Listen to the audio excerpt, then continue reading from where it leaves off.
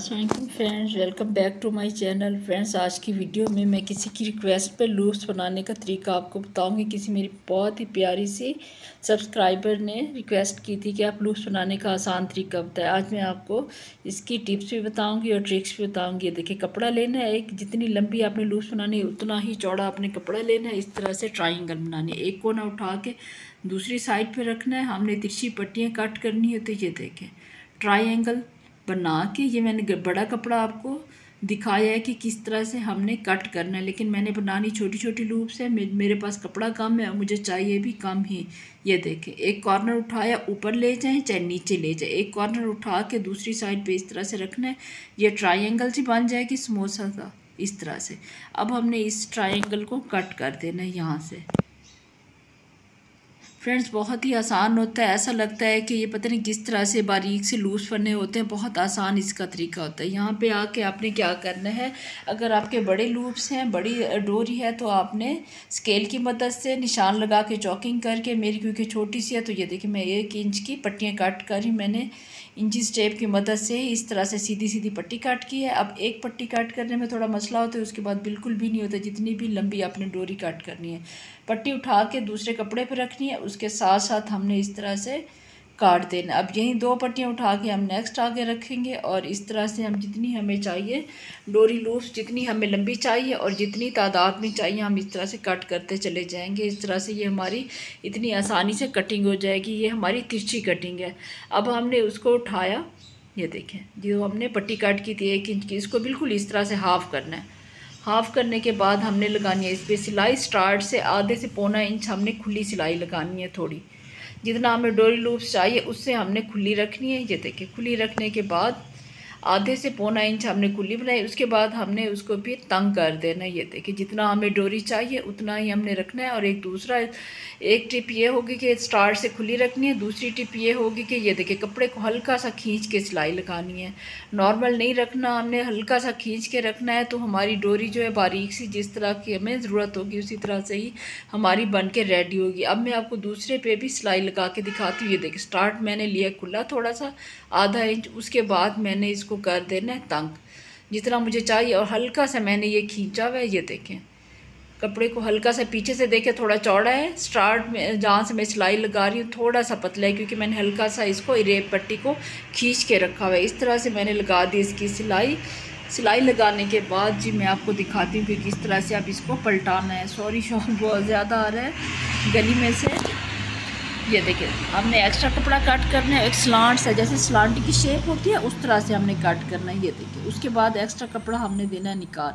ये जो एक्स्ट्रा कपड़ा हम निकाल रहे हैं, ये ज़रूरी नहीं कि आप निकालें। अगर आपको टाइट सी जो सख्त वाली डोरी लूप्स चाहिए तो तब आपको ये कपड़ा नहीं निकालना। अगर आपको थोड़ी सॉफ्ट चाहिए तो आप थोड़ा सा कपड़ा निकाल सकते हैं। और ये कपड़े पे भी डिपेंड करता है अगर खदर का कपड़ा है ये देखिए मैं आपको यहाँ से फिर बताऊँ किस तरह से कट आप गौर से देखिएगा मैंने कि, किस तरह से कट लगाया स्लांट सी बनाई है जहाँ से खुली मैंने छोड़ी थी। अगर खदर का कपड़ा है तो एक्स्ट्रा कपड़ा कट कर लीजिएगा। लाजमी मोटे कपड़े में अगर बारीक कपड़ा है तो अगर आप कपड़ा कट नहीं भी करेंगे जो एक इंच का जो एक्स्ट्रा कपड़ा है तो तब भी आपकी डोरी लूज जो है अच्छे से पलट जाएँगी और बहुत प्यारी सी बन जाएँगी।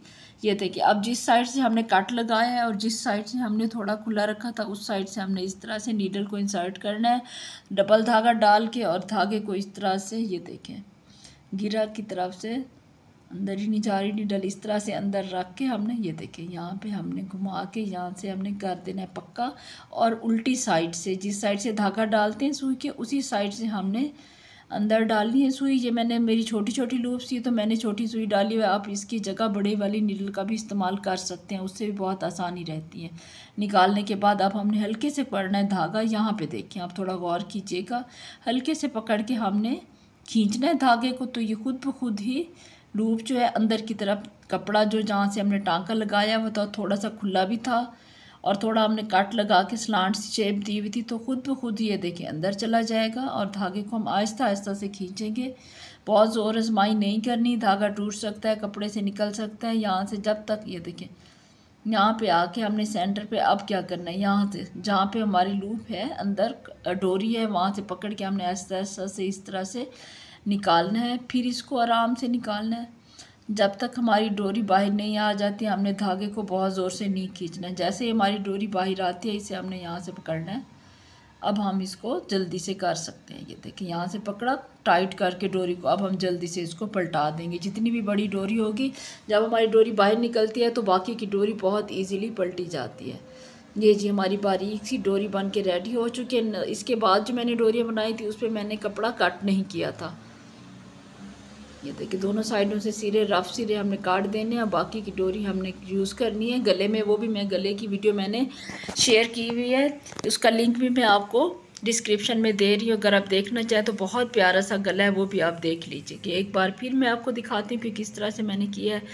खुली साइड से, ये देखिए मैंने इंसर्ट किया, ये जो दो टिप्स हैं, एक तो डोरी को सिलाई लगाते हुए खींच के रखना है, दूसरा डोरी की जब सिलाई स्टार्ट करेंगे, थोड़ा सा हम उसको खुला रखेंगे ताकि हमें पलटने में डोरी को, ये देखें अंदर जाने में, यही मेन पॉइंट होता है, अंदर जाने का, जब एक बार चली जाती है तो फिर ईजीली पलटी जाती है। इस तरह से ये देखें हमने ये वाली डोरी भी रेडी कर लेनी है। इस तरह से मैंने काफ़ी सारी डोरी रेडी की थी और उसके बाद मैंने बनाई थी अपनी नेक बहुत प्यारी सी नेक वो भी आप मेरी वीडियो लाजमी देखिएगा। ये देखें फ्रेंड्स बन के रेडी हो चुके हैं डोरी लूप्स बिल्कुल भी मसला नहीं होता, आप एक बार हिम्मत करें ट्राई करें तो आपको आसानी से आ जाएँगी। डोरी लूप्स आएँ तो बहुत ज़्यादा डिज़ाइनिंग होती है, गलों की दामन की, इससे बहुत सी चीज़ें बन सकती हैं। ओके फ्रेंड्स अल्लाह हाफिज़ अपना अपने बच्चों का ख्याल रखिएगा।